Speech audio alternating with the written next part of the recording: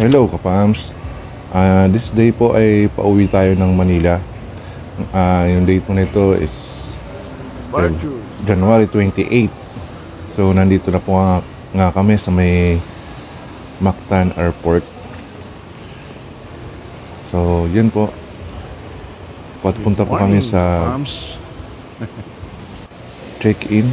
Check-in po kami dyan sa airport Ayan mga kapam Ah, oh, Si Mrs. po yung Si Mrs. Pax yung Namidala ng ticket natin So on the way po kami sa check-in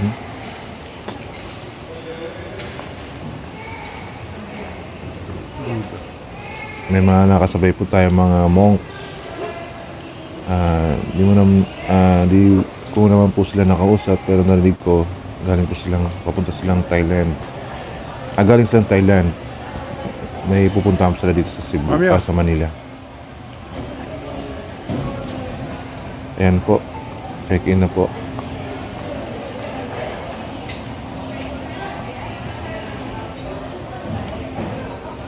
Kung ng ticket si Mrs. Pax. Or Q. Q. Q ticket. And medyo madami din pong umuwi ng Manila this time. Um, ayan nga po, nakakuha na kami. Ah, on the way naman po kami sa boarding. Boarding. Ayan. Tingin-tingin muna muna kami ng makakainan. At nandito na po kami sa punta sa aeroplano. Pa-depart na po kami. Ayan, medyo puno yung Katabi tayo. aeroplano na nasakyan natin mga kapams. Kami.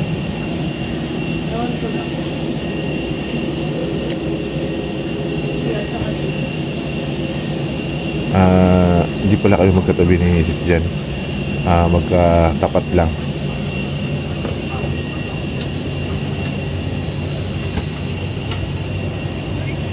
Maaga tayong napaalis dyan, mga kapam.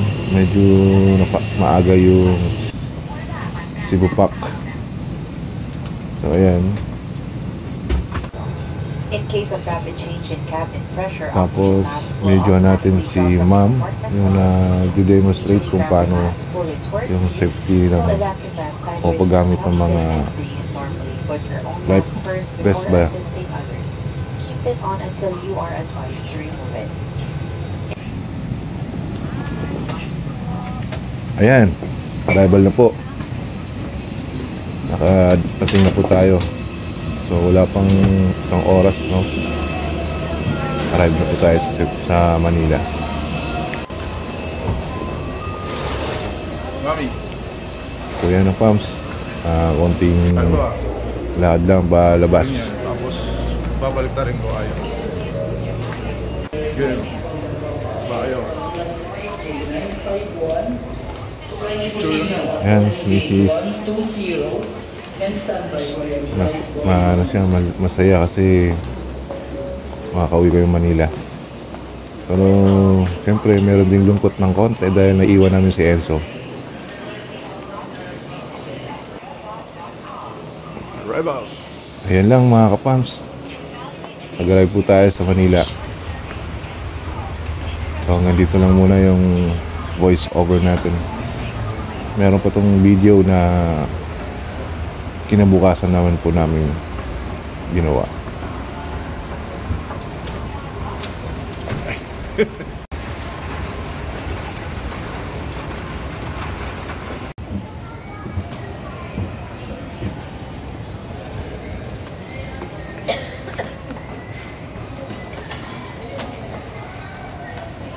the next day.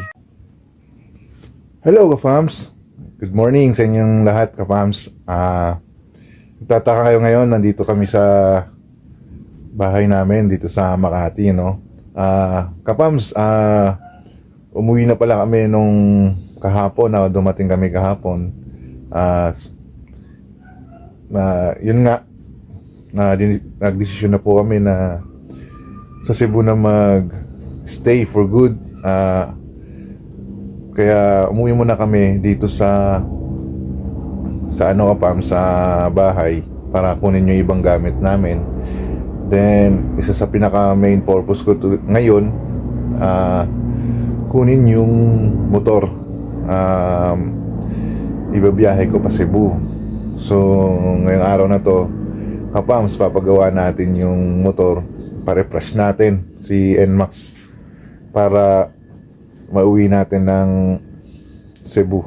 So may gagamitin tayo doon. So yun lang kapams Ah, nag-update lang ako kung ah, saan kami ngayon.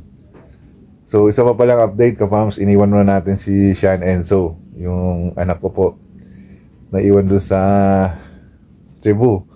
So, kahit malungkot po, or nakakalungkot, kasi namimiss namin yung anak namin. Uuwi rin man agad. So, sa 2, uwi din kami, kapams, by land, magbibiyahe tayo ng motor. So, watch niyo yung mga video, dudugtong natin to, kapams. Para update-update lang. Pati yung pag paggawa natin ng motor, i-update ko kayo, kapams.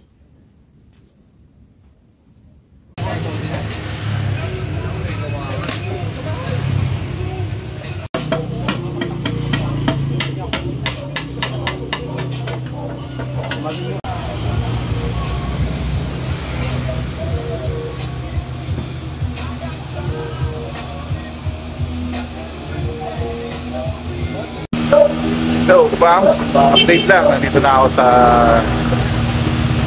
Casero Street. Motomaco. Ito yung gumagawa ng motor natin simulat simula nung nabili natin yung Airmax. So, bang, ito yung update. So, medyo madami na yung papalitan. Ah, tingnan natin kung magkano gagawin natin lahat ngayon.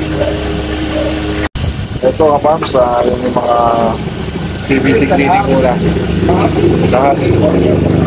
Refresh natin. Refresh, refresh muna natin. Yung biyahe natin, Cebu.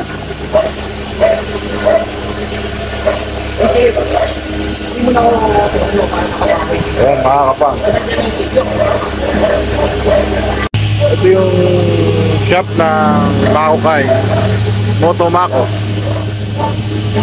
shop ni Motomako. So dito yun, kapam. Yan. Medyo madami pa siyang gagawin. Ganun ka sikat yung tropa natin. Yung Motomako.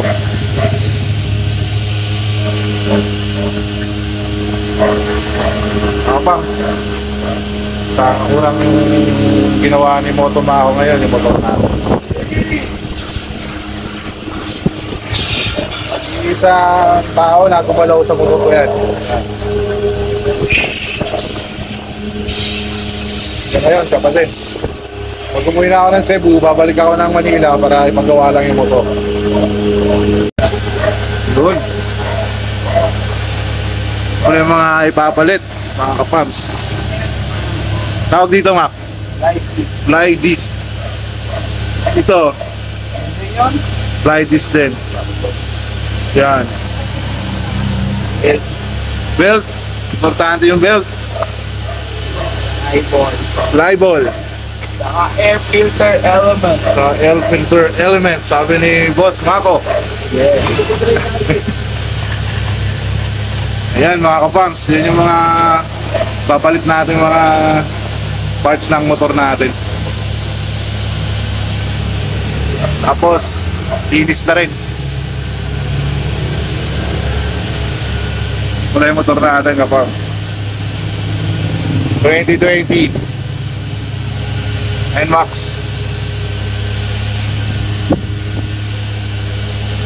Ito lang, nag-iisang taong gumalaw sa motor ko. Motomako. Ito pala, ah. isang advice ng Motomako, kapam. Gulong lang muna papalitan natin sa unahan medyo budbud na eh. Saka na yung ilaw, importante gulong muna. Yan yung advice sa atin.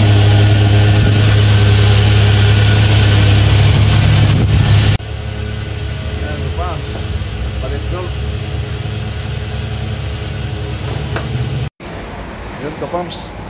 Nangyari ito na rin ang gulong. Ito, east, east tire. Okay naman siya.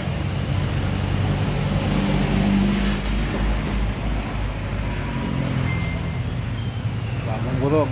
Ready for Cebu. Ito yung pinalit. Kalbo na.